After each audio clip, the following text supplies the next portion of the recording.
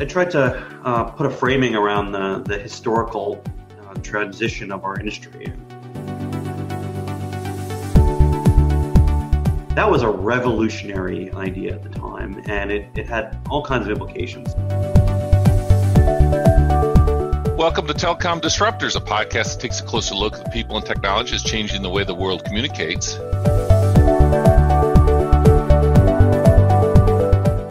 I'm Alan Percy, Senior Director of Product Marketing at Telco Bridges and your podcast host. And in this episode, we're checking in with Jonathan Rosenberg. He's the ex CTO of Cisco Collaboration. And Jonathan, thanks for spending some time with us today. Hey, my pleasure to be here certainly, Jonathan, you've you've had a distinguished um, career to this point, and I'm sure there's much more fun to come.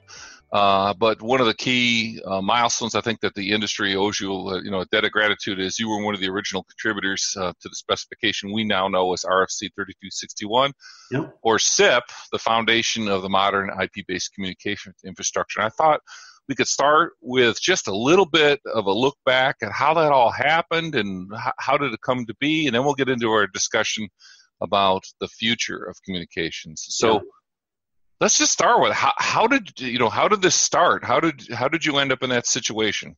Yeah so like a lot of things is sort of a bunch of luck and good timing and and hard work on top of that that sort of all added up to it. So i was um, i was employed at bell laboratories. I just finished my master's thesis. It was my first job out of school and i was in the bell labs research group.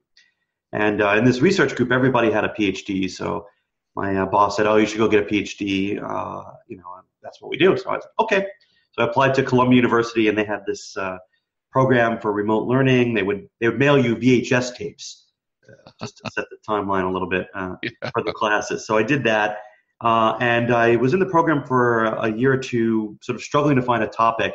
And then this new faculty member came to Columbia University. This guy Henning Schulzrinne uh, had just joined, and he was sort of known as one of the early internet guys doing real-time communications. And so I said, "Oh, let me see if he's got any interesting topics." So I met with him, and it was pretty clear that we had a lot of synergy and uh, thought about things in the same kind of way. And I came on as his first PhD student, and he said, "Hey, I'm working on this thing called SIP, which is this research project for, uh, you know, mostly focused on initiating um, multicast-based group conversations at the time on the internet. Why don't you work on that?" And so I started to work on that, and it sort of grew from there as uh, basically was my PhD thesis topic uh, that I worked on while working in the standards bodies uh, to grow and evolve the technology. And it sort of it gained more and more momentum uh, as obviously as time went on. But that was the at least for me that was the that was the genesis of uh, of that one. Yeah, and it's interesting too because that I distinctly remember at the time, right? We were all doing H three two three, which was basically a IP-based version of ISDN. Exactly. Yeah. And it was a breakthrough in the sense that it it was unbounded from what it could, what SIP could be used for, as opposed to it just replicating the you know the legacy um, TDM network. So uh, obviously a huge step. And, I, am sort of curious. Did, did did did SIP become what you expected, or more or less, or? Uh, I'm sort of curious. in some ways more, in some ways less. Um, obviously, in the more, when we started, I, I, think it was almost hard to conceive that it would now it would become this foundation of all of modern telecommunications and and be the way the phone network works and have created all these different industries and markets. I, I, in that sense, it was way more than I think right. we expected it to be. Um, in other ways, it was less. And sort of one of the ways I was ultimately really disappointed was sort of as you're hinting at, compared to 323, we really wanted to do more than just a plain old phone call. Right. And a lot of SIP's design was about bringing in other elements of internet technology. So how do you integrate web and mm-hmm. email and, and the, the broader internet technology landscape into real-time communication? Uh, and uh, and that part of it was was only it only delivered mixed success, right? It was right. less than I hoped. If you look at how most people have deployed SIP, it's largely used as a replacement for circuit switch telephony, um, and it mm-hmm. largely delivers a telephony based experience. Now, not entirely, of course, there's video and there are some innovative use cases, but I, I don't think it it achieved that home run we hoped where it would revolutionize the phone. Um, so so that was sort of like a little disappointing. Right. And you know, one of the other interesting things about SIP too is that I, I, I can clearly tell the original vision was a pure peer to peer network. Yeah. And it's that's never really come to fruition. It, almost all SIP interactions today go through some kind of um, centralized server, right? That goes through you know some kind of IPPBX or UC platform or yes. or conferencing platform. So it's sort of interesting how that morphed. Yeah, yeah. The, the SIP network, as we envisioned it, right, as you said, of this distributed worldwide network of largely stateless SIP proxies, never really manifested. Um, right.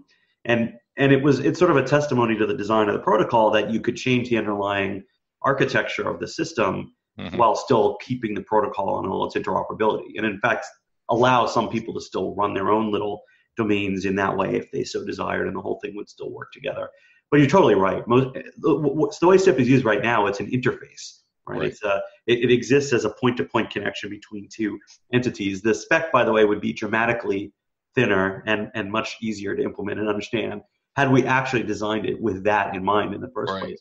But I don't know that it would have achieved its success if it hadn't sort of envision this whole broader thing because uh, a lot of people in the early days were excited about this vision, right? It was a sort of a, mm-hmm. a different way uh, to think about how to deliver telephony on the internet. It was the and we designed it with this sort of end-to-end principle in mind. This is one of the guiding design principles for the internet, which is to put things at the endpoints and not put them centrally in the network. Sure. And um, and it was sort of a manifestation of that. So, but but yeah, no, lots of things turn out differently. Yeah, yes, they do. Well, I remember in the early early days we were giving out little fold out cards that were basically SIP 101, you know, like reference cards. Yep. And uh, it's kind of I should have saved one of those. That would have been kind of fun to keep yeah, yeah. Around. But anyway, I have a collection of SIP memorabilia from here and there. Yeah, I bet. Well, you know, a lot of that library that's um, on my bookshelf behind me is, uh, if you were to get a close up, you'd see there's a lot of, uh, you know, like Alan Johnston's book and some of the other materials. Yep. In there, so that's awesome. So we um we had an opportunity this fall uh, to cross paths at SIPNOC 2018, and uh, uh, and, and you delivered a keynote that I thought was fascinating, which is the you know the, the crux of why we're getting together today. And um, you titled the session "The Implications of Enterprise Cloud on SIP Networks." Uh, and you talked about that there were three areas of enterprise telecom: a hardware, a software, and a cloud. Uh, as a as a start that presentation. So, um, could you do us a favor and sort of share what that was all about, what your thought process was? Yeah, you know, I, I tried to uh, put a framing around the, the historical uh, transition of our industry. And so I, it sort of seemed to be there are these three eras, right? The first era was all about hardware, and this is the TDM and circuit based switching. And if we focus on the enterprise side, it was the era of the, the classic traditional circuit based PBX.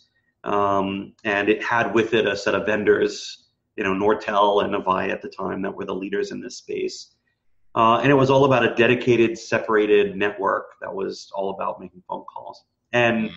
the big change that happened, which was was facilitated by technologies like IP and SIP, was that we were able to transition that away from hardware to software. So instead of buying a, a physical box that was your PBX and having a dedicated network, you could just have a piece of software that ran on a on a computer that implemented your PBX, and and everything else was just connected over an IP network.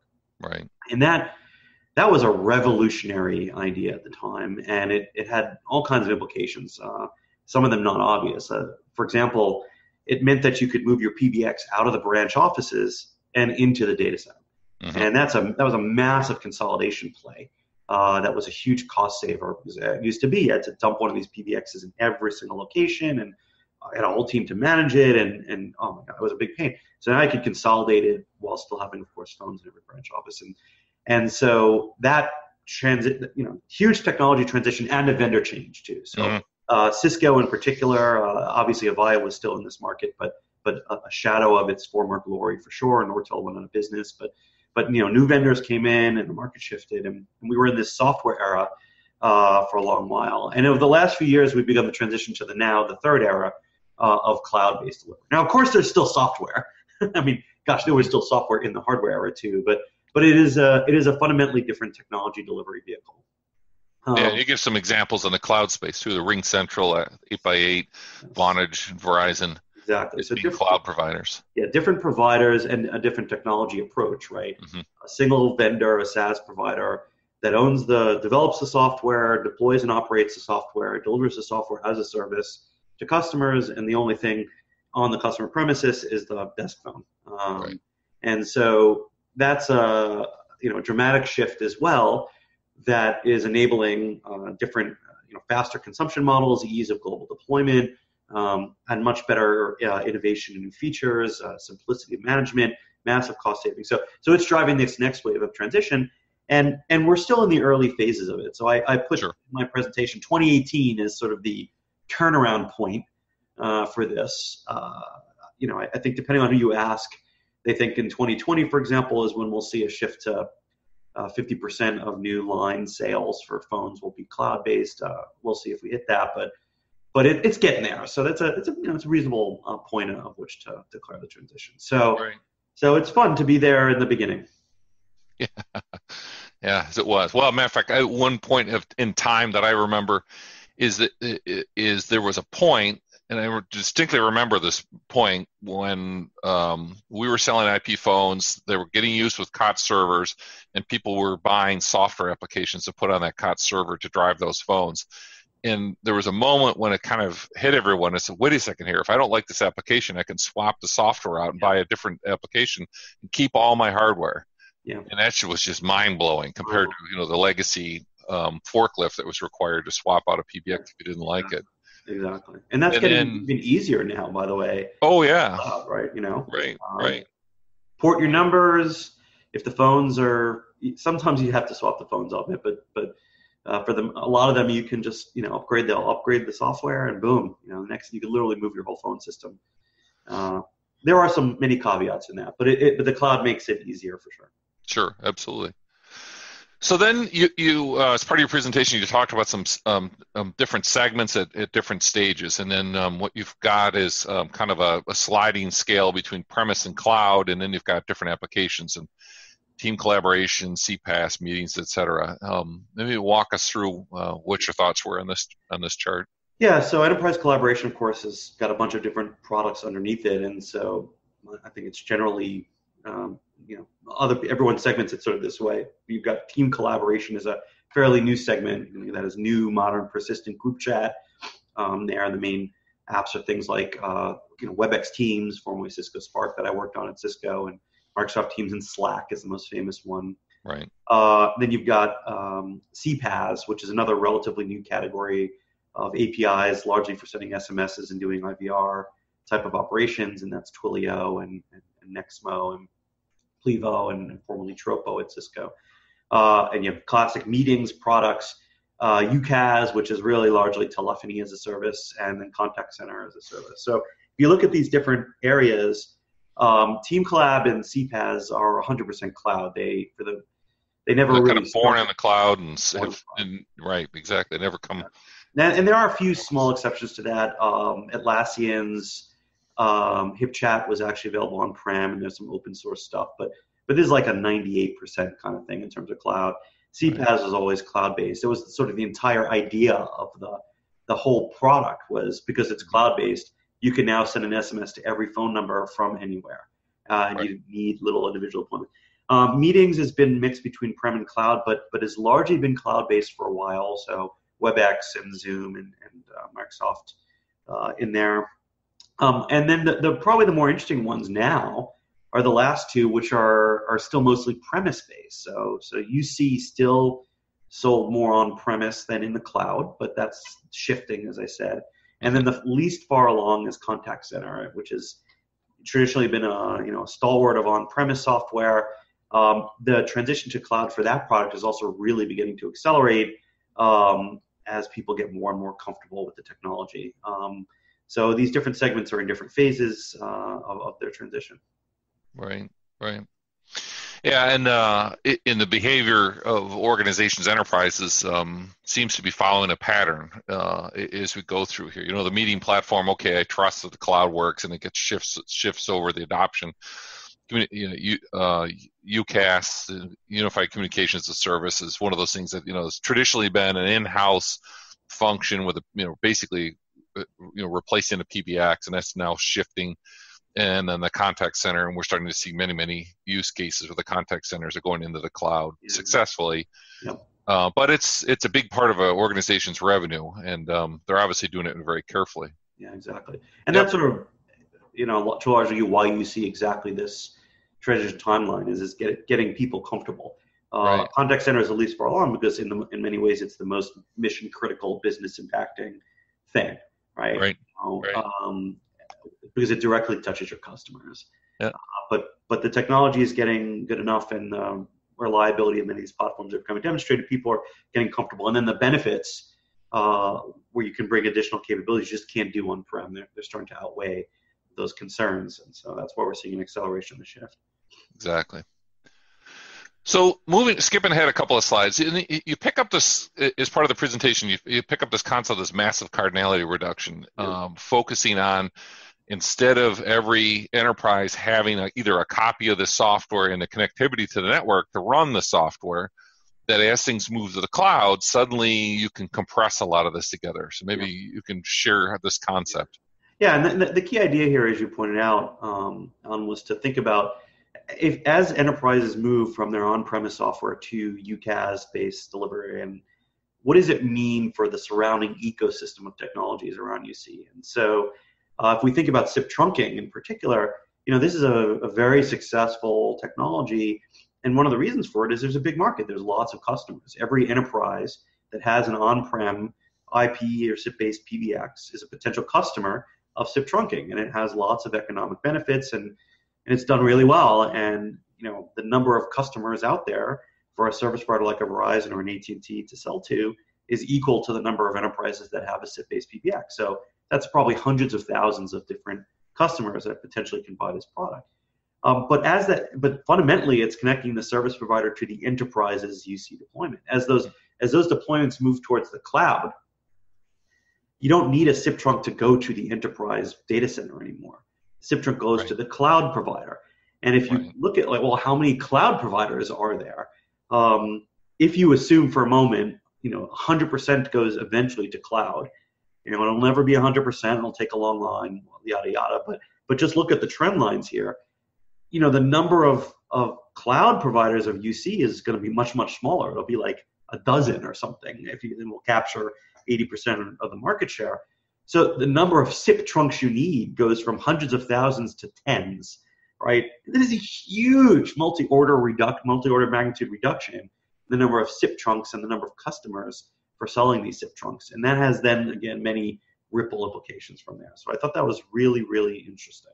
Yeah, yeah, no, that was a fascinating sort of take out of the whole presentation was, you know, that thought process. I, I guess we sort of knew it was coming, right? In the back of your mind, was the concept of um, migrating from you know each individual organization having their SIP trunks, and of course the over provisioning that most people want for you know the busy hour planning, et cetera, et cetera. Well, there's a lot of sessions that are sitting, spinning, doing nothing, and, yes. and then by compressing them together, um, you, you, can squeeze some of that uh, over provisioning out uh, and um, and, yes. and deliver you know, uh, more Great functionality point. Yes. with less equipment and less uh, exactly software. exactly you'll get much better utilization because it'll uh, it's it's aggregating and amortizing this capacity over more and more customers um, right. and ends up looking more regularized so right. Absolutely and then there was one slide towards the end of the presentation that sort of per- sparked my interest and this is a discussion about the enterprise SBC and we've talked in in in uh, some of our blogs and posts and, try, and uh, webinars that we've done before, trying to explain the difference between service provider SBCs and enterprise SBCs, and how service providers um, use an SBC to protect their network and provide you know access to their customers. But enterprises have been using SBCs at, the, at their front door um, to terminate SIP trunks. And a natural uh, side effect of that is is that as we go through this consolidation, the need to have that kind of equipment out at a uh, at the enterprise changes, and um, you've got a, a, you know a graph here. that starts um, first two to five years, and then there's a big lump that um, shows um, uh, an increase in enterprise uh, SBCs, but then eventually it tails off. And so maybe walk through your thoughts on this. Yeah, so so the enterprise SBC market, as you said, is tied to SIP trunking, and um, uh, and, and, it's my view that that will continue to grow for a little while, as it has been generally growing. As we're continuing to see migrations off of TDM to SIP-based trunking, we're continuing to see, we still have lots of circuit-based PBXs in production that are getting retired, um, and those move to uh, a SIP-based uh, software PBX, and we get a SIP trunk. So that market will continue to grow, and it will also, even as we move towards the cloud, a lot of these cloud providers are offering um, hybrid deployment models where you still have the SIP trunks on premise, you just keep the PBX in the cloud. And when you mm-hmm. split when you split it in half that way, um, there's still a need for an enterprise SIP trunk and an enterprise SBC. And I mm-hmm. think we'll see, especially for larger enterprises, a lot of uh, a take uptake of this hybrid models because it allows them to keep their numbers, keep their you don't have to port anything, you don't have to change your you have to get out of your contracts. It's actually probably the biggest problem right. for these guys is they have to break their their telco contracts. Uh, and so, uh, so as we sort of see this hybrid model grow and and the transition to the cloud, um, and as uh, as we continue to see uh, replacement of TDM PBXs, we'll see this enterprise uh, SBC market increase. But at some point, it'll flip, right? As people go to UCaaS, at some point, the economics and the cost effectiveness of the SIP trunks in the cloud will it'll just be more cost effective uh, and easy to manage, and and we'll just see more pure UCaaS, and mm-hmm. so the whole thing flips, and that'll then start the decline uh, of the enterprise SBC market. Right, right. That's, so that's my prediction. We will see if I'm right. well, your prediction. Well, we're in the season of predictions, so that's okay. That's true. So yeah, it's good. Good. It's good. Uh, yeah, we're seeing some interesting use cases actually so with our service provider uh, SBC, uh, where we're starting to see a cloud provide, you know, a, a, a, cloud platform, let's say Twilio, for example, and we're seeing someone who has already has a contract with an established SIP trunk provider, and they said, I would like to use my cloud-based SIP trunks with this cloud-based service. So I need an SBC in the cloud that I can use to interface between these two and resolve some interoperability issues.